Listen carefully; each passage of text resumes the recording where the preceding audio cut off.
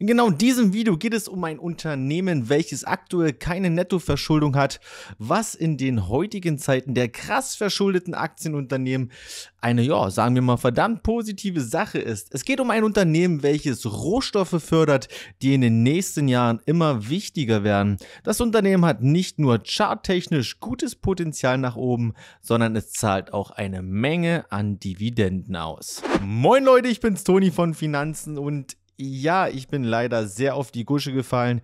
Ich hoffe, mein dezenter Cut am Kopf ähm, ja, stört euch nicht weiter. Starten wir doch jetzt einfach mal mit dem Unternehmen. Seit der Gründung im Jahr 2013 ist es deutlich gewachsen, sowohl geografisch als auch durch Metallproduktionen. Die Gruppe hat sich von ihren jungen Jahren als südafrikanisches Goldminenunternehmen zu einem internationalen, wettbewerbsfähigen, diversifizierten Edelmetallproduzenten von Gold und der Reihe von Platin-Gruppenmetallen, die PGMs, entwickelt.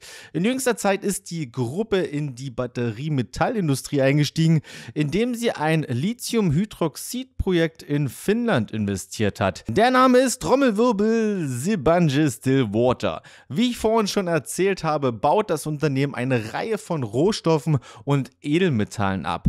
Und genau jetzt schauen wir uns mal zusammen die Abbaugebiete an.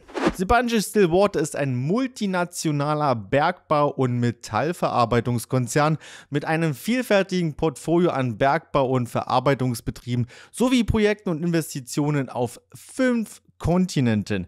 Das Portfolio besteht nämlich aus, ich blende euch jetzt hier oben einfach mal was ein. Das könnt ihr euch gerne gleich mal parallel mit angucken. Und zwar Platin-Gruppenmetalle PGM-Betriebe in den Vereinigten Staaten, also in den USA, in Südafrika und in Simbabwe. Goldbetriebe und Projekte in Südafrika Kupfer, Gold und PGM Explorationskonzessionsgebiete, boah, ist das ein Wort, in Nord- und Südamerika, Zinkaufbereitungsanlagen und Kupferkonzessionsgebiete in Australien und wie ich schon gesagt habe, ganz neu kommt jetzt auch Lithium mit dazu in der Karte ebenfalls zu sehen in Finnland. Ich habe jetzt schon öfters ähm, PGMs verwendet und möchte nochmal etwas genauer darauf eingehen. Die Platin-Gruppenmetalle oder auch PGMs, also ne, die Abkürzung, bestehen aus Platin einmal, Palladium, Rhodium, Iridium, Ruthenium und Osmium. Falls du da noch einiges nicht gehört hast, wie gesagt, das sind alles auch Metalle, die ziemlich wichtig sind. Sie haben nämlich ähnliche physikalische und chemische Eigenschaften und neigen dazu, in unterschiedlichen Anteilen zusammen in derselben geologischen Lagerstätte aufzutreten, was bei der Förderung natürlich recht günstig ist. Der Automobilsektor ist der führende Endverbraucher für zum Beispiel jetzt Platin, Palladium und Rhodium. Alle drei Metalle werden in unterschiedlichen Anteilen in Autokatalysatoren verwendet, die Teil der Automobilabgassysteme von Benzin- und Dieselverbrennungsmotoren sind. Die einzigartigen Eigenschaften von PGMs tragen dazu bei, schädliche Schadstoffemissionen in harmlose Verbindungen umzuwandeln, die dann halt die Luftqualität verbessern. PGMs sind daher seit der Einführung von Emissionskontrollen die wichtigsten Metalle, die in Katalysatoren verwendet werden. Wenn du mehr erfahren möchtest, wie wichtig diese Metalle sind, dann kannst du dir gerne auch mal dieses Video hier oben, ja, im Prinzip einfach mal anschauen, wo das Thema ein bisschen genauer besprochen wird. Was und wie viel wurde denn jetzt 2020 und 2021 gefördert? Schauen wir uns einmal 2020 an und da sehen wir 2,44 Millionen Unzen, wobei hier aber die recycelten Unzen nicht mit reinzählen. Man sieht hier deutlich, dass Platin ein großer Bestandteil war und Gold mit gerade einmal 1% mit reinzählt. Schauen wir uns jetzt das Jahr 2021 an, wo wir die Produktion sehen, aber hier jetzt die mit, also hier zählen jetzt die mit recycelten Unzen mit rein. Das ist wichtig mit äh, zu beobachten oder steht jetzt wie gesagt auch mit da. Ähm, sehen wir aber jetzt, dass Gold mit 1,1 Millionen Unzen deutlich mehr geworden ist, was mich als Goldliebhaber echt glücklich macht. Wer steckt jetzt eigentlich hinter dem Unternehmen? Natürlich gibt es eine Reihe von Leuten, aber wir picken uns einfach mal zwei heraus. Und zwar den Dr. Taban Vincent Maffei. Ich hoffe, ich spreche es jetzt richtig aus. 70 Jahre der Herr, also ja, sagen wir mal schon relativ alt, ist der Vorsitzende, hat Advanced Management Programme an der Harvard University studiert. Ihr könnt euch das jetzt ein bisschen genauer einfach mal mit durchlesen. War ähm, im Prinzip auch Vorsitzender von BHP Billiton, also der südafrikanischen Region was in meinen Augen jetzt erstmal ja schon recht gut klingt. Charles Cater, 48 Jahre, nicht ganz so alt, ist Finanzvorstand, ähm, hat im Prinzip an der University in Johannesburg studiert und verfügt auch als Finanzvorstand, was ich wirklich gut finde, ähm, ja, verfügt sozusagen über mehr als 26 Jahre Bergbauerfahrung. Ihr könnt natürlich, wenn ihr Lust und Laune habt, direkt mal auf der Seite genauer nachgucken, wer denn dort wirklich alles vertreten ist. Wir schauen uns jetzt einfach mal ein paar Kennzahlen bei TradingView an, wie denn das Unternehmen so aufgestellt ist. Und schon sind wir bei Sibanje Stillwater Limited. Einmal auf der Tagesebene hier oben, bitte folgt meinem Mauszeiger. Ich scroll jetzt erstmal ein bisschen was zur Seite, damit ihr ein bisschen mehr hier den Überblick einfach habt. Starten wir. Ihr seht schon relativ viele Linien, äh, bunte Linien und eine, ja, sagen wir mal, andere schöne gelbe Linie. Das ist der gleitende Durchschnitt, 200er gleitende Durchschnitt. Und fangen wir einfach mal an. Und zwar, wir hatten den Höchststand hier oben, das können wir gerne mal messen von gar nicht mal so langer Zeit her. Das war am 8. März 22 und wenn wir das jetzt einmal hinunterziehen, sind wir gerade aktuell bei einem Minus von 47 Prozent. Das ist jetzt natürlich nicht das Einzige, was jetzt das Interessante an der ganzen Sache ist, denn wir sind hier unten an zwei wichtigen Linien meiner Meinung nach angekommen. Nämlich einmal habe ich das Fibonacci Retracement eingezeichnet von hier unten, das war das Corona-Tief, bis einmal zu dem Hoch hier oben. Und da sind wir jetzt hier genau Punktlandung am 61er Wichtiger Retracement angekommen, was wirklich eine ganz, ganz wichtige Supportlinie ist. Aber nicht nur das, denn ihr seht hier auch noch eine andere grüne Linie. Das hat was mit diesen Bereichen zu tun, die hier oben immer wieder angeeckt sind. Und wenn ich jetzt weiter rausscrolle auf das Jahr 2016, hatten wir hier oben auch mal einen signifikanten, ähm, ja, im Prinzip Abpraller von hier oben gehabt.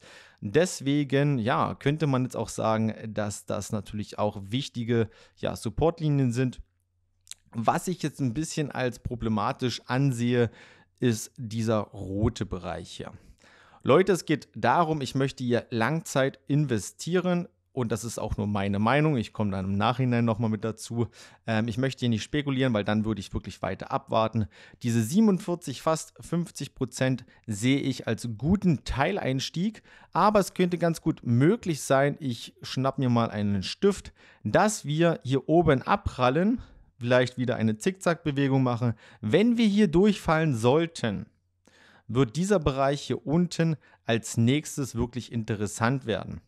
Ähm, ihr seht schon, ähm, das hier hinten ist natürlich kein Euro. Deswegen gehen wir jetzt gleich mal an den Rechner und schauen uns mal an, was denn hier die Umrechnung ist. Also, falls wir jetzt hier unten durchbrechen sollten, wäre der Bereich, ich sage mal, von ungefähr 2900 ähm, South African Cents, also das ist im Prinzip sozusagen jetzt die Umrechnung. Wir tauschen das nochmal ganz kurz. Das heißt, was habe ich gesagt? 2900 wäre dann sozusagen der Kurs bei 1,70 Euro. Recht interessant. Und da würde ich dann, ich switch jetzt gleich wieder mal hier zurück, da würde ich hier unten dann im Prinzip meinen zweiten Teileinstieg machen und ähm, damit ich sozusagen diese Rallye hier oben nicht verpasse, wenn es jetzt weiter nach oben gehen sollte, gehe ich hier den ersten Teileinstieg rein und werde, falls es weiter runter sinken sollte, dann hier nochmal einen Einstieg machen. Ich komme aber nochmal zu einer Support, zu einer Support-Linie oder eher den gleitenden Durchschnitt, denn wenn wir jetzt mal auf die Wochenebene gehen, ähm, sehen wir, opala, sorry, klappt sehr gut. sehen wir, dass hier jetzt auch die, ähm, den 200er gleitenden Wochendurchschnitt angekommen sind. Ähm, dass man diesen nicht immer punktuell wirklich direkt abholt, ist völlig klar, denn den haben wir hier auch nicht abgeholt, selbst beim Corona ähm, sind wir hier unten auch nicht genau hier unten reingekommen. Deswegen wird es hier auch nochmal interessant, wenn wir hier oben wirklich in dem Bereich jetzt hier landen, auch, auch diesen ähm, Widerstandsbereiche wirklich durchschneiden sollten, dann kann es nochmal deutlich weiter nach oben gehen. Deswegen kurzum, ich werde jetzt hier einen Teileinstieg machen, hier unten dann im Prinzip meinen zweiten Teileinstieg, wenn es weiter fallen sollte. Und wir schauen uns jetzt einfach mal, ich switch hier mal rüber, zu den Finanzdaten uns ein bisschen alles genauer mal an. Und zwar seht ihr hier oben von 2015 bis 2021 folgende Daten habe ich jetzt mal eingegeben. Den Gesamtumsatz, den Nettogewinn, das EBIT, die Nettoverschuldung und den freien Cashflow. Fangen wir mal mit dem Gesamtumsatz an. Der Gesamtumsatz ist die ganzen Jahre lang auf alle Fälle gestiegen. Der Nettogewinn nicht, denn in den Jahren, hier sehen wir es, 2017 und 2018 haben sie ein Minus gemacht gehabt. Dann Nettogewinn 2019, dann 2020 extrem stark gestiegen und 2021 auch nochmal extrem stark gestiegen. Ist natürlich erstmal super, aber was ich hier wesentlich schöner finde, ist die Nettoverschuldung. Denn im Prinzip hat das Unternehmen seit, sagen wir mal, genau, seit 2020 ähm, keine Nettoverschuldung mehr. Also im Prinzip, sie haben mehr freien Cashflow wie eigentlich Schulden. Denn hier seht ihr auch nochmal den freien Cashflow, also das, was sie wirklich an Kohle haben. Das ist hier deutlich gestiegen und hier auch nochmal die Nettoverschuldung auf minus 608 Millionen.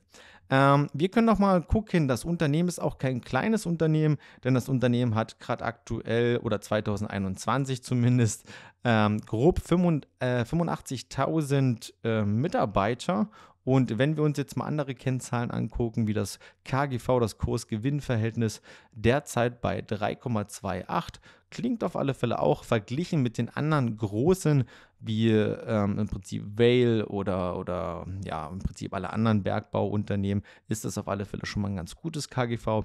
Preis-Umsatz-Verhältnis 0,61, dann Kurs-Cashflow-Verhältnis, Kurs-Buchwert-Verhältnis. Unternehmenswert ist natürlich gesunken, das ist völlig klar, denn wenn ich jetzt hier nochmal runtergehe, wir haben natürlich hier auch nochmal ordentlich ist hier Geld nach, ja, weggeflossen jetzt. Ähm, meiner Meinung nach ähm, wird das auf alle Fälle jetzt in nächster Zeit nochmal interessant werden, wie ich das jetzt hier schon besprochen habe. Nun wissen wir, was das Unternehmen so macht, äh, wie die Finanzen so aussehen und wie es charttechnisch aussieht. Kommen wir einmal zum Handel dieser Aktie. Da ist es vielleicht einmal interessant, wer denn so alles in diesen Unternehmen investiert ist. Da blende ich euch mal genau diese feine Liste hier ein und da seht ihr, die ersten beiden sind im Prinzip ja südafrikanische Großinvestoren. Wir haben aber auch noch BlackRock und noch viele andere große Investoren mit drin. Deswegen ähm, könnt ihr jetzt gerne mal auf Stopp drücken und euch die Liste ein bisschen genauer durchlesen. Aber da sind wirklich schon Top-Firmen mit drin, was jetzt grundsätzlich erstmal nichts ja, Schlechtes sein sollte oder eher, sagen wir mal, was Gutes. Die primäre Notierung von Sibanje Stillwater befindet sich an der Johannesburg Stock Exchange, also JSE in Südafrika. Auch das bei der Charttechnik bitte mit beachten, dass ihr dort dann wirklich ähm, in den Bereich dann sozusagen reingeht bei der JSE und nicht irgendwie in deutschen oder amerikanischen oder sonst irgendwas. Deswegen war dort halt, wie gesagt, die Währung auch ein bisschen anders. Das Unternehmen verfügt aber auch über eine Zweitnotierung, also das ADR an der New York Stock Exchange äh, in den Vereinigten Staaten von Amerika. Die ADRs werden nach einer internen Umstrukturierung wie am 24. Februar 2020 angekündigt unter dem Tickerscode SBSW gehandelt. Jeder ADR ADR entspricht vier Stammaktien. Das müsst ihr wissen. Da kann man natürlich auch investieren, aber ich zeige euch einfach mal bei Trade Republic an meinem Handy, wo ich denn so investiert bin. So, jetzt seht ihr auch schon die Aktie von Sibanje Stillwater für 2,46 Euro. Das haut ja auch hin, weil wir das ja im Prinzip bei dem Rechner einmal umgerechnet haben. Und wir gehen einmal runter. Hier seht ihr auch nochmal ein paar andere Dinge. Das KGV haut hier auch ganz gut hin. Dividendenrendite. Wie gesagt, das Unternehmen zahlt auch richtig schöne Dividenden. Das könnt ihr euch auch gerne nochmal angucken. Und genau, jetzt scrolle ich einfach mal runter. Hier habt ihr einmal die ISIN, also mit ZA einmal angefangen und einmal die WKN. Das könnt ihr euch jetzt gerne einfach mal angucken und wie die Aktie sich entwickelt hat, habe ich euch ja schon gezeigt gehabt. Ähm, es wäre, wie gesagt, ganz, ganz wichtig, dass ihr, wenn ihr darauf Bock habt, wie gesagt, das ist nur meine Meinung, ganz, ganz wichtig, Leute. Dann guckt euch auf alle Fälle mal diese ISIN oder die WKN-Nummer an. So, meine Lieben, das soll es gewesen sein zu dem Unternehmen Simbanji Stillwater und ich hoffe, ich konnte dir einen kleinen, aber feinen Einblick verschaffen. Mich würde einmal interessieren, ob du selbst das Unternehmen schon kanntest und selbst vielleicht schon investiert bist. Schreib es uns gerne mal unten in die Kommentare rein. Alle Inhalte entsprechen meiner persönlichen Meinung. Das gezeigte Video stellt keine Aufforderung zum Verkauf oder Kauf eines Finanzproduktes dar. Dies ist keine Anlageberatung. Dieses Video ist nur als Informationsvideo zu betrachten. Das war's, macht's gut und bis bald, euer Toni von Finanzen.